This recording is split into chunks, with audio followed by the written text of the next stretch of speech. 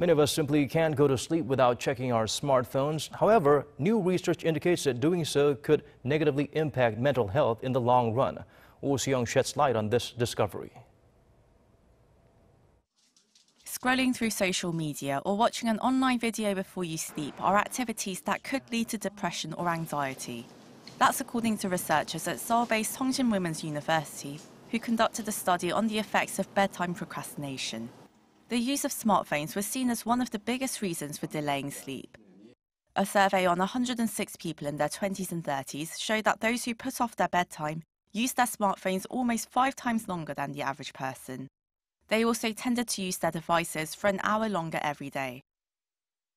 For people who are in their teens or their 20s and 30s, a lot of the times what we find is that they're doing things at night before bed that they weren't able to do before uh, during the day. So, for example, socializing or going on their social networks, uh, things like that are all things that they probably needed to do during the day, uh, feeling a need for connectedness.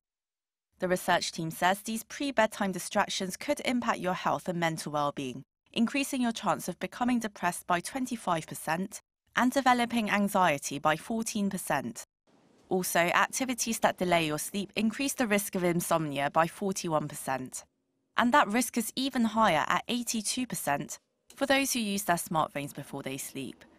To reduce the chance of developing such long term mental health complications, the research team stresses the importance of keeping a regular bedtime. So, one of the best things that you could do is wake up at the same time every morning. So, I, I, know a lot of young people, their sleep schedule is vastly different from the weekdays when they're working. Try to have a wind down time to make sure your mind is turned off and that you are ready. You're in that space where you're mentally ready to go to sleep as well. So, there are several things that you could do behaviorally that don't involve medication.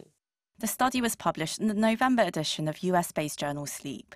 Through further research, STAR aims to develop an effective treatment that targets the behavior that leads to bedtime procrastination and help reinforce healthy sleeping routines. Oh Soo-young, Arirang News.